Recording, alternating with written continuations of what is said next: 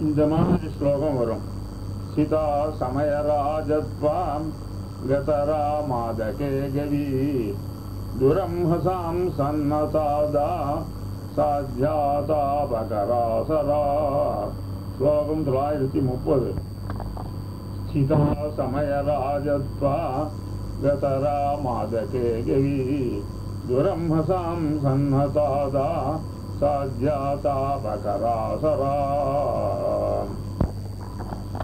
இந்த ஸ்லோகத்தை சதுரங்க கட்டம் ஆடுவாளோ இல்லையா? சதுரங்க கட்டம் ஆடுறவா?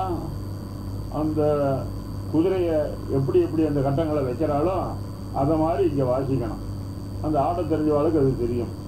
அந்த மாதிரி எப்படி வருது அப்படின்னு கேட்டோம்னாக்க அந்த சதுரங்க கட்டத்தில் குதிரையை மாற்றி மாற்றி அடி வைக்கிற காலத்தில் முதல் கட்டத்தில் இருக்கிற ஒரு இழுத்து அப்புறம் அடுத்த இழுத்து ரெண்டாவது கட்டத்தில் இன்னொரு ஓரத்துக்கு போகும். இப்படி மாறி மாறி குதிரையை அந்த சதுரங்க கட்டத்தில் வச்சு ஆழ்வா வழக்கம். தெரிஞ்சுதா? அதை மாதிரி மாற்றி மாற்றி வச்சு வாசிச்சோம்னாக்க அதில் இந்த சுவாரம் ஸ்லோகம் வரும். அந்த ஸ்லோகம் எப்படி? மாற்றி மாற்றி எழுதி வச்சு வாசிக்கணும். இது பின்னாடி பந்தம் போட்டிருக்கு. அதில் ஒன்று ரெண்டு நம்பர் போட்டிருக்கு. அந்த நம்பர் பிரகாரம் வாசித்து பார்த்தா இந்த ஸ்லோகமான அதுக்குள்ளே வரும் ஆகினால இதில் சதுரங்க சுரங்க பந்தம்ங்கிற ஒரு பந்தத்தில் இந்த ஸ்லோகத்தை சுவாமி அழகாக சாதிச்சிருக்கார். இதனுடைய அர்த்தத்தை இனிமேல் நாம் கவனிப்போம். சமய ராஜப்பா சமய சமயம் சொன்னா சமயம். அதாவது சிட்டாச்சாரங்கள் ஆறு சிட்டாச்சாரம் படி நடந்து அனுஷ்டான என்ன யார் இருக்காளோ அப்பேற்பட்ட வைதிகாக்கிரேசர்கள் எல்லாம் ராஜத்து ராஜகிருதுனா பிரகாசிக்கிற. அவன் எப்படி இருக்கா அப்படின்னுட்டா தன்னுடைய அனுஷ்டானங்களால் பிரகாசிக்கிறான். தன்னுடைய ஆச்சாரங்களால் பிரகா பிரகாசிக்கிறான். அந்த பெரியவாள்லாம். அப்பேற்பட்டவர்களை பா காப்பாற்றக்கூடியது. ஆக என்ன தெரிகிறது? ஆறு வைதிகாச்சாரம் வரப்படி யார் இருக்காளோ அவளெல்லாம் பாதுகாதிகாரர்கள் காப்பாற்றுவாள் அப்படின்னு அர்த்தம் கிடைக்கிறது. அப்புறம் ஆகதாராம் ஆதத அப்படின்னா பெறப்பட்ட அடையப்பட்ட? ரா ரை ஐஸ்வர்யம். என்ன? ஐஸ்வர்யத்தை உடைய சொர்ணத்தை உடையவளாக இருக்காள். அப்படின்னா என்ன அர்த்தம்? இந்த பாதுகாதேவியே சொர்ணமயமான பாதுகை அல்லவா இவள் அதனால சொர்ணத்தோடு கூடியவளாக இருக்காள் அப்படின்னு கருத்தம் அல்லது இவள் என்ன பண்ணுறா ஆறு தன்னை அடையிறாளோ? அவளுக்கெல்லாம் சொர்ணத்தை கிடைக்க முடியாத பண்ணுறான் தெரிஞ்சா அவளுக்கும் சொர்ணத்தை பெற்று ஐஸ்வர்யத்தை பெற்று சந்தோஷமா இருக்க முடியாத பண்ணுறான் அப்படின்னு சாதிக்கிறார். ஆகதாராம். அப்படியே மாதகே தேவி ஸ்ரீதா மாதகம் மாதகம்னா சந்தோஷத்தை உண்டு பண்ணக்கூடியது. சந்தோஷத்தை உண்டு பண்ணக்கூடியதான கி- கிவி கிவின்னா கிரணங்கள் இந்த சரணங்களில் நடுவில் இவ இருக்கா. சரிஞ்சா அதாவது பாதியில் நிறையா மணிகளுடைய கிரணங்கள்லாம் வீசுறது. அந்த கிரணங்கள் நடுவில் இந்த பாதுகா தேவி இருக்கான் அந்த கிரணங்கள் எப்பேற்பட்டது அப்படின்னு கேட்டோம்னாக்க அது நமக்கு எல்லா விதமான சந்தோஷத்தையும் உண்டு பண்ணுறது சேவை அப்படி சேவிச்சோம்னாக்க நமக்கு சந்தோஷத்தை உண்டு பண்ணுறது ஆகினால நமக்கு சந்தோஷத்தை உண்டு பண்ணக்கூடியதான ரத்தனங்களுடைய கிரணங்களின் நடுவில் இந்த பாதுகா தேவியானவள் பிரகாசிக்கிறார் அப்படின்னு ஒரு அர்த்தம். இன்னொரு அர்த்தம் எப்படின்னா சூரிய கிரணத்தின் நடுவில் பிரகாசிக்கிறான் ரங்கநாதன் ஆகாச மார்க்கமாக சொல்லுகின்ற காலத்தில் சூரிய மண்டலத்திலேயும் எம்பெருமான் இருக்கான் இல்லையா? அங்கேயும் பாதுகையோடு இருக்கான். ஆனால் சூரிய மண்டலத்தில் சூரியனுடைய ஒளிகள் நிறையா வீசுகின்றன கிரணங்கள் வீசுகின்றன. அதன் நடுவில் இவளும் பிரகாசிக்கிறார் அப்படின்னார். அதற்கு மேல சன்னதாம் பிரம்மசாம் சன்னதா தா அப்படின்னார். பிரம்மசாம். துரம்மசாம்னா கெட்ட பாவங்கள். நிறைய கெட்ட பாவங்களெல்லாம் செஞ்சுவிட்டு உடுமைகள் எல்லாம் பண்ணிவிட்டு அந்த பாவத்தினால ஜனங்கள் எப்படி இருக்கு? சன்னதா. அடங்கி ஒடுங்கி பாவத்தின் காரணமாக ரொம்ப துர்தேசையில் கஷ்டப்பட்டு இருக்கா அப்படி யார் சன்னதாக கஷ்டப்பட்டு இருக்காளோ அவளுடைய கஷ்டங்களெல்லாம் தா தானா தோ அவகண்டனே. அதாவது அழிக்கிறதுன்னு அர்த்தம். அதனால் யார் நிறையா பாவங்களை பண்ணிவிட்டு கஷ்டத்தை அனுபவிச்சுட்டு இருக்காளோ அவளுடைய கஷ்டத்தை எல்லாம் தன்னை வந்து சேவிக்கிறவாளுக்கு போக்குறது இந்த பாதுகாதேவி அப்பேற்பட்டவளவன். சாத்தியாதா பகரா அப்புறம் சாத்தியம்னா உண்டாகக்கூடிய ஏற்படக்கூடியதான அதாபன் தாபம்னா தாபம் கஷ்டங்கள் நமக்கு. அதாபம்னா தாபம் இல்லாத நிலை. ஆக தாபமில்லாத நிலையை உடைய கரா கிரணங்களை உடையவளாக இருக்கான் சூரியனுடைய கிரணங்கள் தாபத்தை உண்டு பண்ணுகிறது. பாதுகாதேவனுடைய ரத்தனங்கள்லேருந்து வெளிப்படக்கூடியான கிரணங்கள் இருக்கேன் அது சந்தோஷத்தை உண்டு பண்ணுறதே ஒழிய அது தாபத்தை உண்டு பண்ணாது இல்லையா? அதனால் தாபம் இல்லாத கிரணங்களோடு கூடினவளாக இருக்கா இந்த பாதுகாதேவி. மேலும் எப்படி இருக்கான் ஆசரான் அப்படின்னா ஆசரா. ஆனா எங்கும் அர்த்தம். எல்லா இடத்துலையும் சரா சஞ்சரிக்கக்கூடியவளா இருக்கா? ஆக ரங்கநாதனோட புகழ்ச்ச வான வீதியில எங்க வேணாலும் சஞ்சரிப்பா பாதுகாதேவி அப்படின்ற லோகம் எங்கும் சஞ்சரிக்கக்கூடியவான? தன்மை உடையவளா இருக்கா இந்த பாதுகாதேவி அப்பேற்பட்ட பாதுகாதேவியே நீ என்ன பண்ணணும் அப்படின்னு கேட்டோம்னாக்க மா ரங்கராஜ பதம்னய நீ என்ன ரங்கராஜனுடைய திருடி வாரத்துல என்னை கொண்டு போய் சேர்த்து விடு. அப்படின்னா எனக்கு ரங்கராஜனுடைய பதம் எது? ஸ்ரீவைகுண்டம் தெரிஞ்சா ஸ்ரீகுண்டத்துக்கு கிடைக்க முடியாது எனக்கு மோட்சம் கிடைக்க முடியாது நீ பண்ணுவாயாக? என்று பாதுகாதேவிய சுவாமி தேசியன் இதில் பிரார்த்தித்தாரது. லோகசாரா காமச்சாராம் கவிராஜ துராவதா தாராகதே பாதராம ராஜதே ராம பாதுகா ஸ்லோகம் தொள்ளாயிரத்தி முப்பத்தி ஒன்று. லோகசாரா காமச்சாராம் கவிராஜ துராவதா தாராகதே பாதராம ராஜதே ராம பாதுகா லோகசாரா காமச்சாராம் லோகசார அகாமச்சாரம் பதம் பிரிக்கணும் லோகதார லோகதார லோகம்னா லோகத்தில் இருக்குமையான ஜனங்கள் அந்த ஜனங்கள் எல்லாரையும் தார சம்சாரமாற சமுதிரத்தை தாண்டும்படியாக நீ பண்ணுகிறாய். யார் வந்து உன்னை பிரார்த்திக்கிறாளோ உன்னை உபாசிக்கிறாளோ அவளுடைய பாவங்கள் எல்லாம் போக்கி கடைசி காலத்தில் சம்சாரத்தை தாண்டி மோட்சத்தை அடையும்படியாக பண்ணுகிறாய். ஆகாமச்சாரா? ஆகாம ஆகாம. ஆனா மிகவும் காம விரும்புகிறது. ஆக மிகவும் விரும்பப்படுகிறதான சாரா. சாரமா சஞ்சாரம். சஞ்சாரத்தை உடையவளாக நீ இருக்கிறாய். அதாவது உள்ளே உட்காந்து என்ன பண்ண ஒவ்வொருத்தரும் பெருமாளை கூப்பிட்டு எப்போ கேட்கறது பாதுகாதேவி ரொம்ப எம்பெருமான அழைச்சிருந்து எப்போ வாசலில் வீதி உற்சவத்துக்கு வருவா ஆனால் பாதுகாதேவி எப்போ நாம் சேவிப்போம்? அப்படின்னு பாதுகாதேவியுடைய சஞ்சாரத்தை எப்போ பார்த்தாலும் எதிர்பார்த்துட்டு இருக்கலாம் ஜனங்கள். பாதுகாதேவி சஞ்சாரம் வந்தால் பெருமாளையும் சேவிக்கலாம். எம்பெருமானுடைய திருவடியும் சேவிக்கலாம். திருவடிங்க இருக்கக்கூடிய பாதுகாதேவியும் சேவிக்கலாம். பாதுகாதேவி சுருக்க நமக்கு அனுகிரகம் பண்ணுறாள் அப்படின்னால அவருடைய சஞ்சாரத்தை எப்போதும் வேணும் வேணும் எதிர்பார்த்துட்டு இருக்கலாம் எல்லாரும் லோகத்தில் இருக்கிற ஜனங்கள்லாம். அப்புறம் கவிராஜ ஆபஜா இன்னும் நீ எப்பேற்பட்டவர்கள் அப்படின்னு கேட்டோம்னாக்க கவிராஜர்கள் வசந்த கவிஞர்கள் இருக்காளே. ராசர் பராசரர் வால்மீகி ஆகிய கவிதைகள் இருக்காளே. அவர்களெல்லாம் கூட துராவஜா. உன்னுடைய பெருமையை உன்னுடைய சுபாவத்தை குணங்களை வர்ணிக்கவே முடியாது. அப்பேற்பட்டவள் நீ சாமானியம் நம்ம ஏன்னா பெருமாளையே பிரார்த்திக்க முடியாமல் தோவா தோன் வர்த்தந்தே என்று வேதமே பெருமாளை அவனுடைய குணங்களை வர்ணிக்க முடியாமல் திண்டாடுறது. அதுக்கு மேலே நீ உன்னுடைய பெரு- பெருமை எப்பேற்பட்டதுன்னு கேட்டவனாக்க அதே போல பெருமாளை போல உன்னை யாரும் வர்ணிக்க முடியாது. உன்னுடைய கல்யாண குணங்கள் அத்தகையது. எல்லை இல்லை அது. எல்லையற்றது அப்படின்னார். என்ன அப்பேற்பட்டதாக இருந்தாக்க அவளாலே வர்ணிக்க முடியாத காலத்தில் தேவரை எப்படி வர்ணிச்சு அப்படின்னு கேள்வி வரும். இந்த அது பாதுகா அனுகிரகத்தினால நான் ஏதோ கொஞ்சம் வர்ணிச்சேன் அப்படின்னு தாத்பரியம் சுவாமி சாதிக்கிறது. காமச்சாரம் ஆ காமச்சாரம்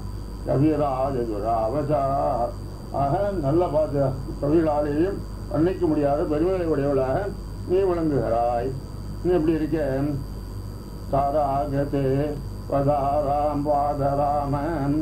தாரா ஜதேன் கதேன சஞ்சாரம். சஞ்சாரத்துல தாரா.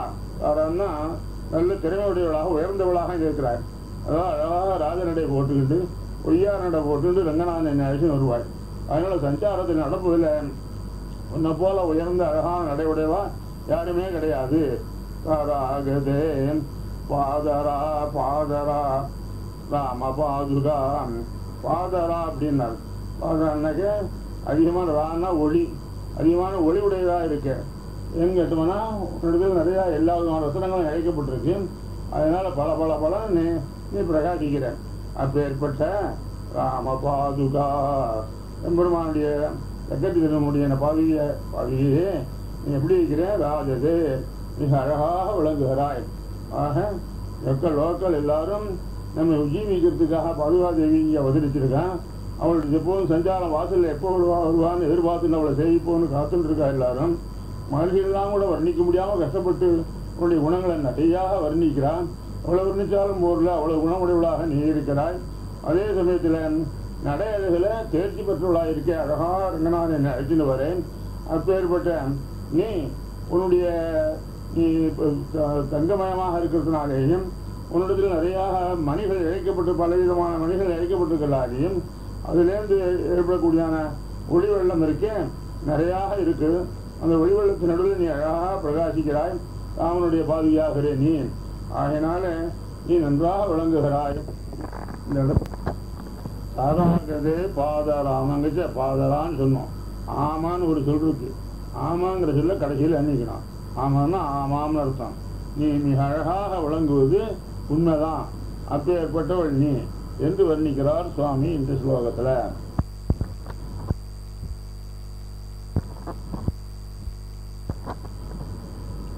இதுக்கு இது அர்த்த பிரமக பந்தம்னு பேரு இந்த ஸ்லோகத்துக்கு. முன்ன உரக கதி பந்தம் சொன்னோமே அதில் சொன்னபடி நம்ம என்ன பண்ணணும்? முதல்ல ஒரு அஞ்சு கோடுகளை போடணும் நீள வாட்டத்தில். அப்புறம் அங்கேருந்து குறுக்கு வாட்டத்தில் ஒம்பது கோடுகளை போடணும். போட்டாக்க எட்டு எட்டு கட்டம் உள்ளதாக வரிசையாக கட்டம் எட்டு கட்டம் நமக்கு வரும்ல. அந்த கட்டத்தில் ஒவ்வொரு கட்டத்துலேயும் ஒவ்வொரு அர்த்தம் ஸ்லோகம் வந்துடும் வரிசையாக எழுதினமானாக்க முப்பத்தி ரெண்டு எழுதியும் வரிசையாக எழுதினமானா ஒவ்வொரு இடத்துலையும் வருவா வரும். இதில் இந்த பந்தத்தில் என்ன விசேஷம் அப்படின்னு கேட்டோம்னாக்க மேலேந்து வாசி ஒரு அடியை மேலேந்து வாசித்தாலும் மேலேந்து கீழே வரும். அதே மேலே எழுத்தானது அப்படியே நீள வாசித்தாலும் அந்த பாதம் வரும். அப்புறம் ரெண்டாவது எழுத்து வரைச்ச முன்னெழுத்தையும் சேர்த்துக்கிண்டு கீழே வாசித்தாலும் அதே ரெண்டாவது பாதம் வரும். அப்புறம் மேலே வாசித்தாலும் அதே ரெண்டாவது பாதம் வரும். இப்படியாக மூணாவது பாதம் வரைச்ச மூணாவது எழுத்து வரைச்ச மூணாவது எழுத்துல பழைய மூணு எழுத்தையும் சேர்த்துக்கிண்டு அப்படியே சேர்த்து வாசித்தோம்னா மூணாவது பாதம் வரும். அப்புறம் நீளவாட்டத்திலையும் மூணாவது பாதம் வரும். ஆக அப்படி அழகாக ஒரு பாதம் மேலும் கீழுமாக வரும்படியாக ஸ்லோகம் முழுக்க வரும்படியாக அமைச்சர் அமைக்கப்பட்டிருக்கு இந்த ஸ்லோகம். அதனால இது மிக கஷ்டமான பந்தம் இதுக்கு அர்த்த பிரமுக பந்தம் என்று பெயர்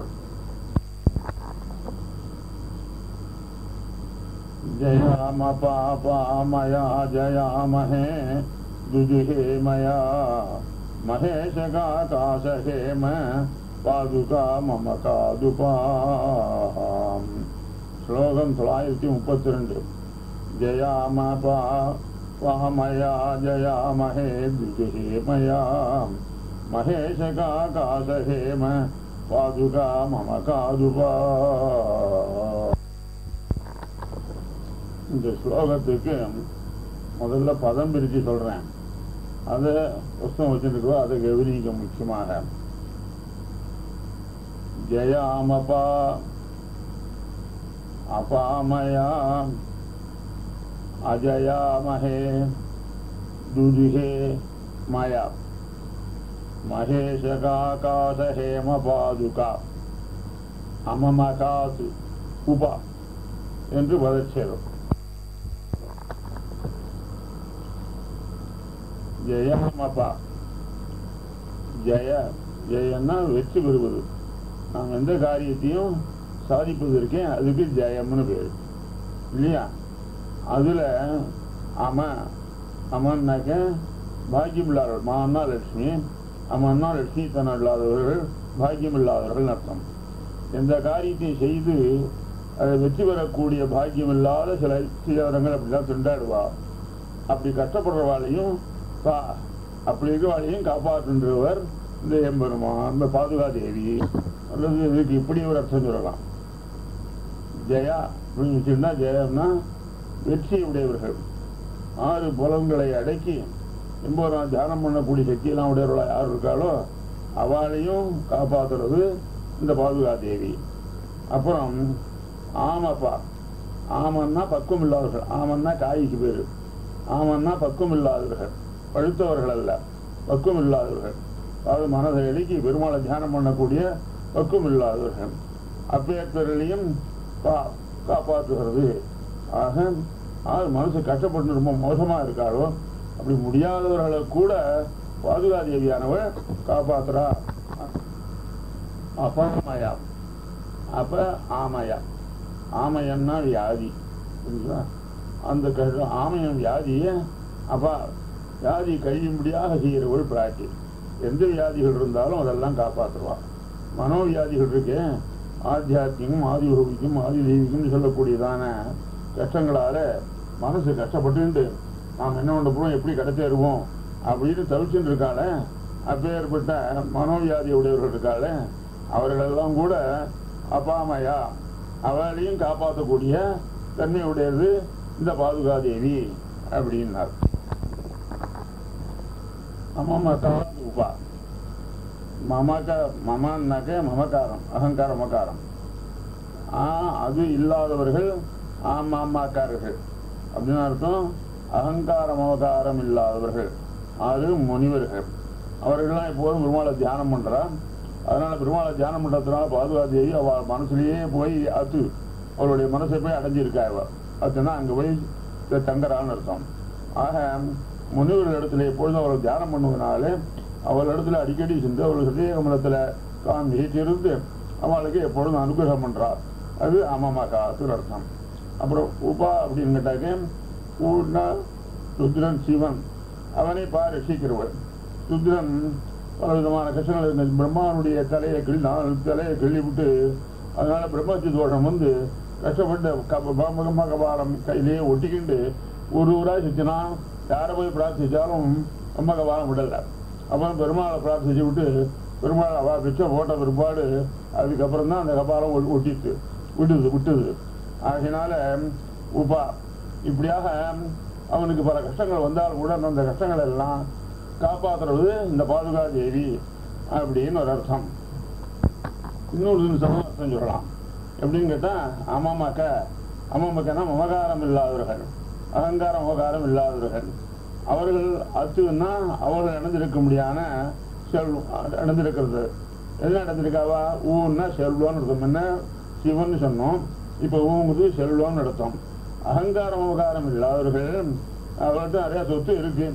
சொத்து இருந்தாலும் கூட சொத்து நம்முடையதுங்கிற ஒரு பராமரிக்கணுங்கிற ஒரு ஆசை அது இல்லாதவர்கள் அவர்கள் அது பெருமாள் பகவத் சங்கப்பத்தினால தான் அவள் காப்பாற்றப்பட்டு அந்த சொத்தை வச்சுருந்து அவள் வாழ்நாள் வாழ்க்கையை நடத்தணும்.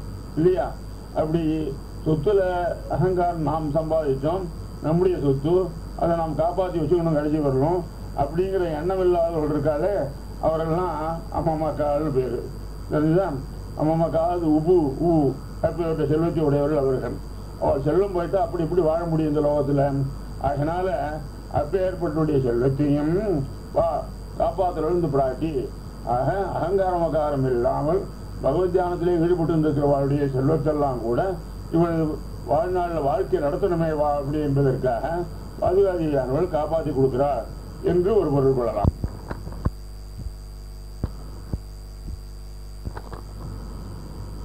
மகேஷகாகாச ஹேம பாதுகா மகேசன் இந்திரன். தெரிஞ்சா இந்திரனுடைய கான்னா சரசுல ஆகாச விளங்குகிற ஹேம பாதுகா தங்கத்தனுடைய தன்னை- தன்னை உடையவர்கள் ஆறு பாதுகாதேவி. அதாவது பெருமாள் இப்படி சஞ்சாரத்தில் காலத்தில் உற்சவ காலங்களிலையும் ராத்திரி வேளையிலையும் பிறருக்கு தெரியாமல் இந்திராதி தேவதைகள்லாம் வந்து பெருமாள் ஆராதனை பண்ணுறது உண்டு அப்போ தன் தன்னுடைய திருவடியை திருமுடிய என்ன பண்ணுறா பாட்டியினுடைய தி- தி- பெரு- திருவடி தலையை வச்சு சேவிக்கிறாளாம் அப்போ எம்பெருமான் திருவாரத்தில் பாதுகா தேவி இருக்கு. பாதுகா தேவி மேல இடிக்கும்படியாக தன்னுடைய சிரசை வச்சு இந்திரங்களை சேவி இந்திராதிகள்லாம் சேவிக்கிறார் ஆக இந்திரருத்ராதி தேவதைகளாலே என்ன? தலையிலே தாங்கப்பட்ட தன் தங்க பாதுமயமான பாதுகையை உடையவளாக இருக்கா இந்த பாதுகா தேவி. ஆக அவளை எப்பொழுதும் இந்திராதி தேவர்கள்லாம் வந்து காலில் விழுந்து பெருமாத்தினுடைய விழுந்து பாதுகையின் தன்னுடைய சிரசு இடிக்கும்படியாக வந்து சேவிக்கிறார்கள். அப்படின்னு அதற்கு பொருள். அஜயாமகே யுதுகே மயா. அஜயா மகே அஜயான்னா அஜன்னா ரங்கநாதன் பிறக்காதவன் அர்த்தம். இந்த ரங்கநாதனை யான்னா சேர்ந்திருக்கிறது. ரங்கநாதனுடைய மகே உற்சவத்தில் ரங்கநாதனுக்கு அப்பப்போ உற்சவம் நடக்கிறதோ இல்லையோ? அந்த உற்சவத்தில் அடிக்கடி சேவித்து எம்பெருமானுடைய பாதுகாதேவியினுடைய கிருபையை பெற்று துதுகே என்னால் அவருடைய அனுகிரகங்கள்லாம் முழுக்க கறக்கப்பட்டது. ஆக அவருடைய அருக அனுகிரகத்தெல்லாம் நான் பெற்றேன் அப்படிங்கிறார் சுவாமி. அல்லது இப்படின்னு சொல்லலாம். அஜயாமகே ம், துதுகே அப்படின்னா அஜயாமகே அஜன்னா பிரம்மா. பிரம்மனை சார்ந்த மகே உற்சவத்தில் அப்படின்னா பிரம்மோத்சவத்தில் அர்த்தம். பிரம்மோத்சவத்தில் பரம்பிரம்மன் இவன் நான்முகன் பிரம்மாவே வந்து பிரம்மோத்சவத்தை நடத்தி வைக்கிறதாக சொல்லுகிறோம். அவனே வந்து எல்லாம் பண்ணுறான் அவனுக்கெல்லாம் பூஜை பண்ணி அவன்லாம் அழைக்கிறான். வந்து துவசம்ப பிரதிஷ்டை இது பண்ணுற காலத்தில் துவயாரோகண காலத்தில் அர்ச்சகால மந்திரம் சொல்லி கூப்பிடுறான். அப்போ இந்த நான்முகனே வந்து இந்த உற்சவத்தை நடத்தி வைக்கணும். அதனால நான்முகன் வந்து இருந்து நடத்த முடியாத அந்த பிரம்மோத்சவம் இருக்கேன் அந்த பிரம்மோத்சவத்தில் அவனை அடிக்கடி எம்பெருமானை நான் சேவிச்சு பாதுகா தேவியை சேவிச்சு அதனுடைய அனுகிரத்தை நிறையா கறந்துருக்கேன் நிறையா பெற்றிருக்கிறேன் என்று சாதிக்கிறார் சுவாமி இந்த ஸ்லோகத்துல. ஆக பாதுகா தேவியானவள் எல்லோருக்கும் சேமத்தை கொடுக்குறான். தாபத்திரயங்களை போய்ச்சி சிரமங்களை போய்ச்சி சௌகரியமா இருக்க முடியா பண்றான். எவ்வளவு சங்கடங்கள் வந்தாலும் அவள் அதை நிவர்த்தி பண்ணி நமக்கு சந்தோஷத்தை உண்டு பண்ணுறா அப்படின்னு சாதித்தார் அதோட பார்வாதேவி பெருமாளை உற்சவங்கிற யாகத்தை அழைச்சுக்கிண்டு பெருமாளை சேவிக்கு யார் வரலையோ அவளையே அனுகிரகிக்கிறதுக்காக வெளியில் வரலாம் ஆக உற்சவத்தை எதுக்காக நடத்தி வைக்கிறாள் அப்படின்னு கேட்டோம்னாக்க உற்சவம் நடந்ததுனாக்க சில பேர் மேலே கச்சேரி கேட்கணும் வருவான். சில பேர் பாட்டு கச்சேரி நடந்ததுன்னா அதை கேட்கலான்னு வருவான். இல்லை வேண்டியவெல்லாம் வருவான்னு வம்பளக்க வருவா சில பேர். புரிஞ்சுதா? இப்படி பல வியாஜத்தினால வந்து கூடி கூடினாலாம் அவள் வரவா எப்படி இருந்தாலும் தன்னை செழிப்பாளர்கள் ஒரு அளவு. சேவிச்சாலாம் அதை வச்சுட்டு அனுகிரகம் பண்ணி அவளுக்கு சேவத்தை உண்டு பண்ணலாம். அப்படிங்கிற எண்ணம் உடையவள் பாதுகாதேவி என்கிறார் இந்த ஸ்லோகத்தில் சுவாமி தேசிகன்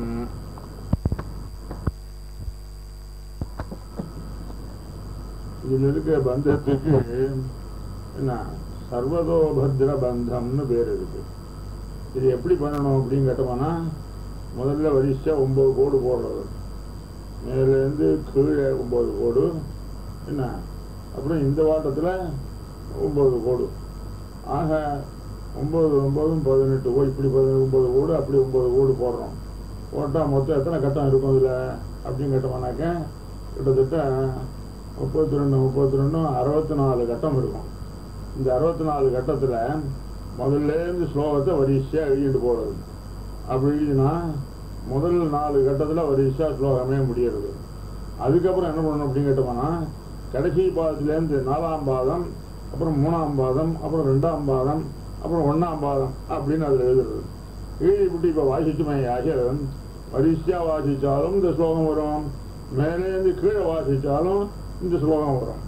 அதனால் குறுக்கு நெடுக்காகவோ மேல் கீழாகவோ தலைகீழாகவோ எப்படி வாசித்தாலும் ஸ்லோகம் வந்துடும் அதனால ஆனால் இதில் எழுதுறது என்ன பண்ணுறோம் அப்படின்னு கேட்டோம்னா ஒரு ஸ்லோகத்தை ரெண்டு இடம் எழுதுறோம். ஒரு ஸ்லோகத்தில் முதல் பாதத்திலேருந்து ஆரம்பித்து நாலாம் பாதம் வரலாம் எழுதுறோம். அதுக்கப்புறம் நாலாம் பாதத்திலேருந்து ஆரம்பித்து முதல் பாதம் வரையும் நாலு மூணு ரெண்டு ஒன்றுன்னு அப்படி தலைகள் எழுதுறோம். அப்படி எழுதிட்டு வாசித்தோமே ஆகிய எப்படி வாசித்தாலும் இந்த ஸ்லோகம் வருது. அந்த பாதம் ஒவ்வொரு பாதமும் வந்துடும். அதனால இதுக்கு சர்வதோபத்திரம்னு பேரு. அப்பேற்பட்ட ஒரு அழகான ஒரு பந்தத்துல கஷ்டமாக சுவாமி தேசியன் இந்த ஸ்லோகத்தை அருளி செய்ததாக இருக்கிறது?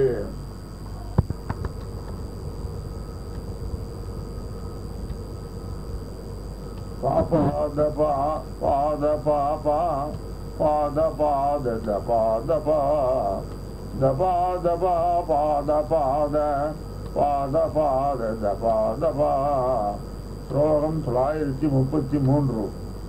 பாபாத பா பாத பாபா பாத பாத த பாத பா த பாத பா பாத பாத பாத பாத த பாத பா இந்த ஸ்லோகத்தை பதம் பிரிக்கிறேன் அதை கவனிச்சு பாருங்க இப்போ பாபாத்து அபாபாத்து அபாபா அபாத பாத தபாதபா தபாதபா பாத பாத பாதபா பாதபா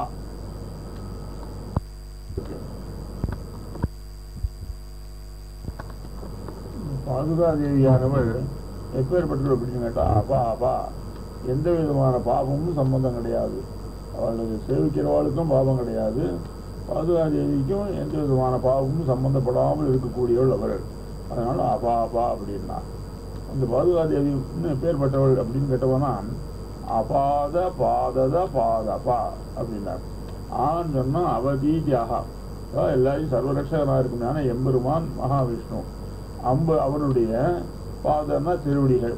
அந்த திருவடிகளுக்கு பாதத கிரணங்களை கொடுக்கக்கூடியதான பாதபா கிரணங்களை உடையவள் பாதுகாதேவி எப்பேற்பட்டவள் அப்படின்னு கேட்டோம்னாக்க பாதுகாதி பெரும்பெருமான் திருவடியில் பாதுகையை சாத்திக்கிட்டா எம்பெருமானத்தினுடைய திருவடி பல பலன் பிரகாசிக்கலாம். ஏன்? பாதுகை நல்ல நல்ல ரத்தனங்கள்லாம் அழைச்சிருக்கு. இதனுடைய காந்தியெல்லாம் பெரும்பாலனுடைய திருவடி மேல போய் விழறலாம் அதனால எம்ப எம்பெருமானுடைய திருவடிக்கு காந்தி பாதுகையினுடைய காந்தியினால தான் பெருமானுடைய திருவடிக்கே காந்தி ஏற்படுறது. அதில் பாதுகை சாத்திக்கிட்டாக்க பெருமானுடைய திருவடியானது ரொம்ப அழகாக இருக்குது அப்பேற்பட்ட எம்பெருமானுடைய திருவள்ளுக்கு காந்தியை கொடுக்கக்கூடியவளாக இருக்கிறாள் இந்த பாதுகாதேவி. இன்னும் எப்பேற்பட்டவள் அப்படின்னா ததபாதபா ததபாதபா அப்படின்னாக்க ததன்னா பாதுகாப்பை அளிக்கக்கூடியது. தெரிஞ்சுதா? எல்லோருக்கும் பாதுகாப்பை அளிக்கக்கூடியதான பாதபா. தெரிஞ்சா பாவத்துன்னா ரட்சிக்கிறதுன்னு அர்த்தம்.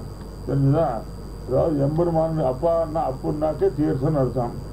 எம்பெருமானுடைய திருவடியில் திருமாலுக்கு திருவஞ்சனம் பண்ணுறார் திருவஞ்சனம் பண்ணால் திருவஞ்சன தீர்த்தமானது பாதுகா மேலே விழுறது பாதுகாதேவி அப்புறம் தொடச்சி இதெல்லாம் பண்ணுறா பாதுகாதேவி வந்து எல்லாரும் வந்து சேவிக்கிறான் சேவிக்கிற காலத்தில் எம்பெருமானுடைய திருவஞ்சன தீர்த்தங்கள் எல்லாம் எல்லா கலர்லேயும் படருது தெரிஞ்சுதா? அதனால் யார் யார் வந்து வந்து சேவிக்கிறாளோ சேவிக்கிறாளுடைய பாபத்தை எல்லாம் போக்கக்கூடியதான திருமஞ்சன தீர்த்தத்தோடு கூடியிருக்கிறாள் பாதுகாதேவி. ஆக பெருமாளுக்கு திருமஞ்சனம் பண்ணால் அது கடைசியில் பாதுகையில் தானே வந்து விழும். அதனால் எல்லோருடைய பாபத்தையும் பார்க்கக்கூடியதான திருமஞ்சன தீர்த்தத்தை செய்யக்கூடியவர் இந்த பாதுகாதேவியானவள் அப்படின்னார் மேலும். மேலும் ஜபாத பாபாத பாத பாத பா. அதாவது என்ன? தபாத தபாதனா தேங்க தேங்க ரட்சணேங்கிற தாவுலேருந்து வந்திருக்குங்கிறார். அதனால ஜ- ஜபாத அப்படின்னாக்க எல்லாருக்கும் பாதுகாப்பை அளிக்கக்கூடியது. மக்கள் எல்லோரையும் பாதுகாக்கக்கூடியது. இன்னும் எப்பேற்பட்டது பாபாத. மக்களை பாதுகாக்கிறதுனா எப்படி பாதுகாக்கிறது? அவனுடைய பாவங்களெல்லாம் போக்கினா மக்கள் சேவமாக இருக்கா இல்லையா? அதனால அவனுடைய பாபாதனா தான் சாப்பிட்றதுனா பாவங்களெல்லாம் போக்குறதுன்னு அர்த்தம். அப்போ ஏற்பட்ட பாவங்களை போக்கக்கூடியதான பாதம்னா எம்பெருமானுடைய திருவடி. அந்த திருவடிகளோடு கூடியிருக்கு இந்த பாதுகாதேவி. ஆறு யார் ஆறு வந்து சேவிக்கிறாளோ அவளுக்கெல்லாம் பாதுகாதேவி எம்பெருமானுடைய திருவடியானது பாதுகாப்பை கொடுக்கறது. அவருடைய பாவங்களெல்லாம் போக்குறது. அப்பேற்பட்ட உயர்ந்த திருவடியை ஆறு பாதுகாக்கிறா அப்படின்னு கேட்டால் பாதுகாதேவி பாதுகாக்கிறா. அப்பேற்பட்ட பாதுகை. அந்த பாதுகாத்து என்ன பண்ணணும் அப்படின்னு கேட்டோம்னா பாபாது என்ன நமக்கு இருக்க முடியாத எத்தனையோ பாவங்கள் இருக்கும் இல்லையா அந்த பாவங்களிலிருந்து அது. நம்ம காப்பாத்துறது. ஆக பாதுகாதியவர்கள் நம்முடைய பாவங்களிலிருந்து எல்லாவற்றிலிருந்தும் பாதுகாக்கிறாள் நம்மை என்று இந்த ஸ்லோகத்தில் சுவாமி தேசியன் அனுசந்தித்தாகிறது இந்த ஸ்லோகத்தை நாம் கவனிச்சோமாக இதில் ஜாங்கிற ஒரு மெய்யெழுத்தும் பாங்கிற மெய்யெழுத்தும் திரும்பி திரும்பி வருது. அதே மாதிரி அகாரம் ஆகாரம் இதுவும் வருது. ஆக உயிர் எழுத்துக்களான அகார ஆகாரமும் மெய்யெழுத்துக்களான தாபாங்கிற ரெண்டு எழுத்துக்களுமே இந்த நாலு எழுத்துக்கள்லேயே இந்த ஸ்லோகமானது அடங்கி இருக்கு. ஆக இந்த நாலு எழுத்துக்களையே கொண்டு திரும்ப திரும்ப சொற்கள் வருகின்றபடினாலே அதுக்கு யமகம்னு பேர். அதோட கூட நாலு எழுத்துக்கள் கூடின சர்வதோபத்ரம் என்கிற பந்தத்தோட விசித்திரமான பந்தத்தோடு கூடியிருக்கு இந்த ஸ்லோகமானது. இப்போ இந்த சர்வதோபத்திர பந்தத்தை சுவாமி அழகாக இந்த ஸ்லோகத்தில் நமக்கு அமைச்சு கொடுத்து காட்டியிருக்கிறார். கோபோத்தீபகபாபேதி கிருபாபா கோபபாதிகா பூதபாதோதகாபாதோத்தீபிகா காபி பாதுகா ஸ்லோகம் தொள்ளாயிரத்தி முப்பத்தி நாலு கோபோத்தீபகபாபேதி கிருபாபா கோபபாதிகா பூதபாதோதகாபாதோத்தீபிகா காபி பாதுகா கோபோத்தீபக பாபேதி எம்பெருமான் எப்பேற்பட்டவன் அப்படின்னு தான் தண்டதரம்னு சொல்லுவாள் வழக்கம். யாராரு பாபம்